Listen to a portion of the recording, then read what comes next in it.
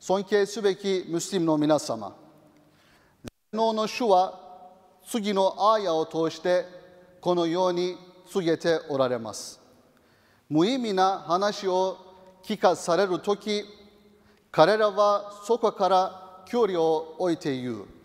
私たちには私たちの行いがありあなた方にはあなた方の行いがある。あなた方のあなた方に平安があれ。私たちに私たちは無知なものを求めない。また預言者モハンメドサララハアレイヒワサラム彼の上に祝福と平安があればハディースの中で次のように語っています。自分に関わりのない事柄からは遠ざかるということはまさしくイスラムの人の素晴らしい点の一つである。親愛なる信仰者の皆様私たちの崇高な宗教であるイスラムは人生のあらゆる場面を通して何かしら有益なこと幸福を招くこと意味のあることを行うよう命じています。私たちの価値観や私たちの主スブハナフワタアラが与えてくださった祝福祝福は必要もないのに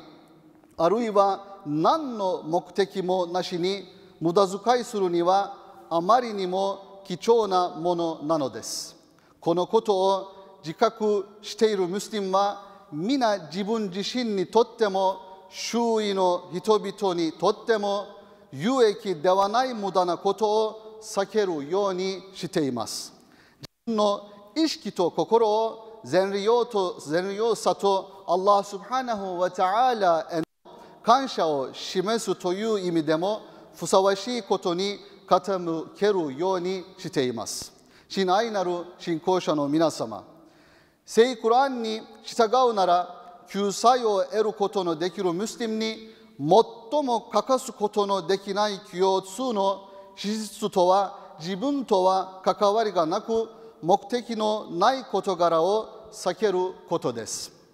ですから私たちは自分自身の言葉や考え、良心、道徳を持ってムスリムとして完成されるよう努力しましょう。ムスリムとしての自分自分自身の質をより高め、目的のない行為から遠ざかることで、アッラー・スブハナフ・タアラの御前における私たちの崇拝もより高められるのだということを忘れないようにしましょう。